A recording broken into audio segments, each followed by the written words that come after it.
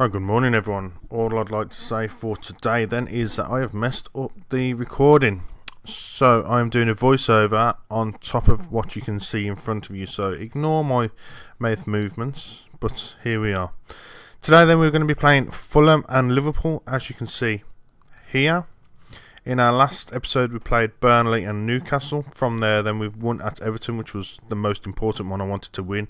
Chelsea, we lost, although we did uh, save a penalty initially.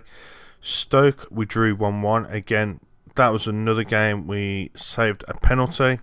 And then Leeds, we lost 3 0, which I think was a little bit disappointing. In this episode, also, we have got the FA Cup third round draw. As you can see here, then we have signed Joe Bellingham and Jans Forstruter. This is James uh, Joe Bellingham, not quite Joe Jude, but here we are. And this is Jans Forstruter. He can play anywhere along the attacking front three minus striker, though I wouldn't put it past him to be able to do that as well. With his finishing at 14, and he's there playing in midfield which is where I initially signed him to sort of play as a nice little Mezzala.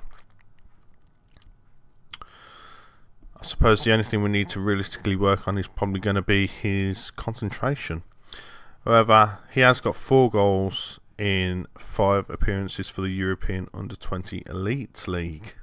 So as you can see here, November's Young Player of the Month. Then you got Dino Petrus, or Petrus, should I say, from Manchester United. He's 20 years old. He's only played two games, I believe. Uh, sorry, three games in the Premier League, nine sub appearances with two sub appearances in the UEFA Conference League. This is our very own Diogo Ribi. As you can see, his attributes have increased brilliantly across the board. And this is the other guy, Lewis Mora, who's a wonder kid for Chelsea. Right then, going into our first game against Liverpool, then this is going to be the team that's going out. Diogo in goal, second on the left, Davies on the right, Rowley and Small in the middle. Though I'm not sure if I changed that. Yeah, there we go. So it's McIntyre and Baptiste in the middle, in defence, and then you've got Taylor and Orford middle of the field, and Haig, Powell, and Ordines on the attacking front three, with Anderson up front on this one. Jurgen Klopp is still at Liverpool. Uh, nobody expects us to get results. Just go out there and enjoy playing the match without any pressure on you. Here we have Orford through to Anderson, and it's just a little overhit. Alisson Becker rolls it back out. Tyler intercepts, and we have another shot with Anderson, and he should have maybe done at least better hitting the target.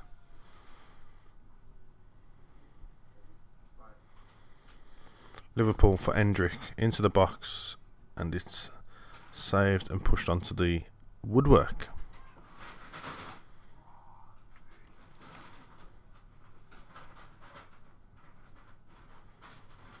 Baptiste sent Orford over the top and it's intercepted. Ferran Torres to Endrick. Endrick shoots and that's a very, very poor effort from Endrick.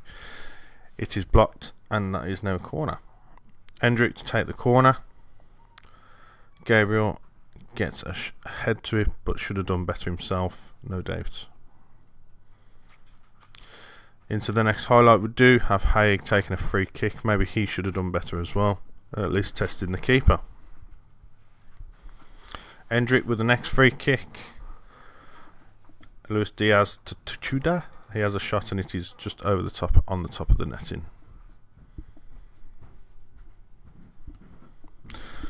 Coming in at half time then, the lads are doing pretty well. Nil nil so far. I'm happy with the performance. Let's keep it up.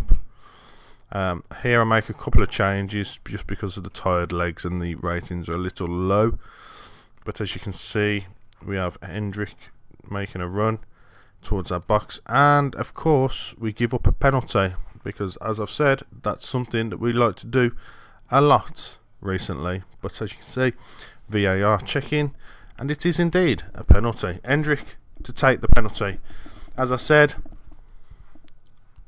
Ribby has uh, had two shots faced against sorry two penalties faced in the last two games which would have been Leeds and somebody else I forget then and he did save both of them. He even went the right way on this one as well. To to be fair to him, although he didn't quite manage to get to it, which is unfortunate.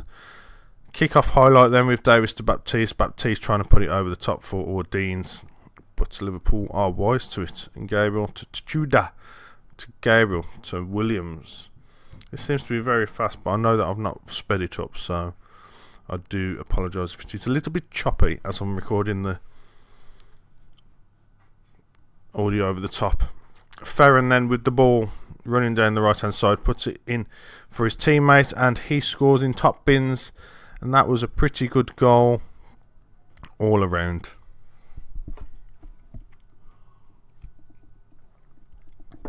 Here I am just making to make sure that we've got the instructions as per that I like to have them.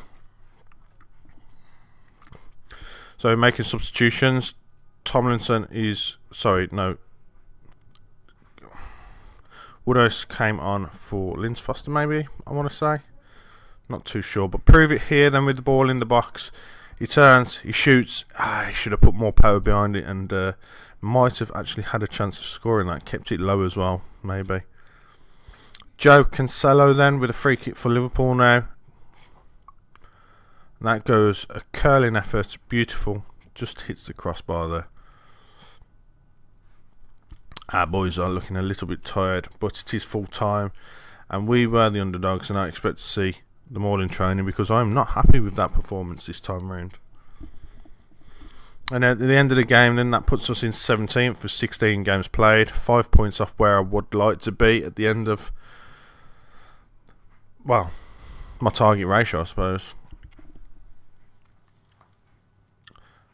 Here we are with the FA Cup, so all we're going to do is we're just going to speed through the FA Cup until we get to where our match is and who we play. And it is Cristiano Ronaldo to do the draw.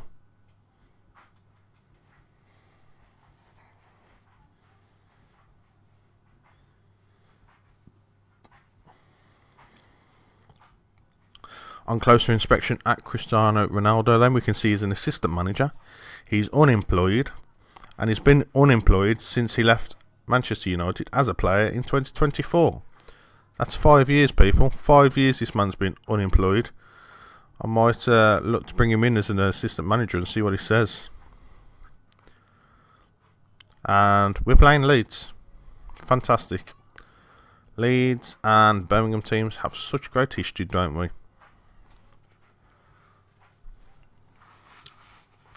Right then, here we are. We are looking at our youth intake here. As you can see, it says an excellent intake. This is a terrific group of players going through and has the potential to be a real golden generation for the club. I'd just like to point out that at this point in time, every year, year on year, because we're going to get better and better intakes, every intake is probably going to say excellent intake and a real golden generation for the club. Because that's just how things go in Football Manager if, once you get better and better would like to say if you look at the intake distribution, we can see that we've got two strikers, two attacking midfielders, two midfielders centrally, two defenders centrally, one goalkeeper, one left back, one right back, one midfield on the left and right, two attacking midfielders on the right, and one attacking midfielder on the left. The grades are as you see. B's, C's we are interested in, and we'll definitely sign those. We will also sign the E's because it helps fill out the squad for the under 18s. And whilst that might not be important for the players that are no good to get game time, it certainly means that at least the players that are better will get a lot more game time. And if they start winning matches, then obviously at that point they start developing a lot better. Anyhow, I'm going to pass you over to where I figured it out and the live commentary from about now. Uh, welcome back to the Fulham game. I've only just realised that my microphone has not been on this whole time, so I apologise. It's going to be a voiceover for the first half. At least it'll be easier to edit. Anyhow, focus on what I've got in front of me. Diogo Ribi's in goal, Cirkin on the left, Davies on the right, McIntyre and Baptiste in the middle with Taylor and Orford. Taylor and Orford doing what they do in midfield. Haig on the left, Pruitt on the right, Powell in the middle with Anderson up front. Burgess is on the bench this time round. However, his morale is very poor because I think he's been dropped from the team because of his suspension from the last game. Going into the dressing room, we want to say we've got nothing to lose here, but we can make all the difference if I pump my fists and give everyone a good pat on the back. Skipping through this. Throwing for Fulham then. Mitrovic to Novia, and it goes over. Bellingham to Palm manages to intercept Haig with the ball. It goes just wide. Although it looks like it was blocked and it's now a corner. Pruitt to take it. In swings. Haig doesn't quite get to it and Fulham managed to get there before the highlight does indeed actually end. Asking our assistant to tell the players where to go. Let's go a bit more positive, try and get something going. Right, that brings us up to half time. Nothing's absolutely nothing's happened. I mean, we're controlling possession, so I suppose that's what we want, right? We need to be getting shots off at this point. We've got eight shots, three on target. We need to do more. Alright, let's do it. Let's go. So we want Burgess up front. I think we're going to put him for Haig. Pruitt, and him can swap over. Then them two can swap over. That does that job. Roger Rayleigh is going to drop in for Jamal. And then I think you're going to drop in for Dennis there you're going to jump out for Weir. And that's what we're going to do with that there. And then we start shouting, demand more, do it. Then we're going to just make a couple more changes to the Ask Assistant. Fulham getting intercepted where we've got Taylor picking up the ball, passing it back to Ribby, back to McIntyre. McIntyre's over the top Powell to Burgess. Burgess puts it to Lindsfoster. Powell now, hopefully over the top to prove it. Pruitt's going to put it into the box. Powell's going to have a shot and he puts it well over the bar. Although it looks like it was saved, so it's going to be a corner. Pruitt doesn't get to take it because that's the end of the highlight. This feels like it should have been a game we could have won, and is very unfortunate to not hopefully have won it Do you know what? Points better than losing, but we should definitely, definitely won that. There's no way we shouldn't have won it. So, we're five points behind where I want to be, two points above the drop zone. Um, yeah, it's, it's not looking good. It's not looking good, people. Right, so if we look at the schedule then, we shall be back for Burnley and oh, I feel like Burnley and Leeds has been done before. It's Burnley and Norwich, wasn't it, before? So we'll do Leeds and not. Oh, yeah, Leeds and Norwich. We'll do Leeds and Norwich this time. So FA Cup third round away, and then we're away against Norwich as well. So if you've enjoyed that, I apologise about the sound. I'll sort it in post. Thank you for watching drop a like, comment, and subscribe, and we'll see you in the next episode. Thank you for watching.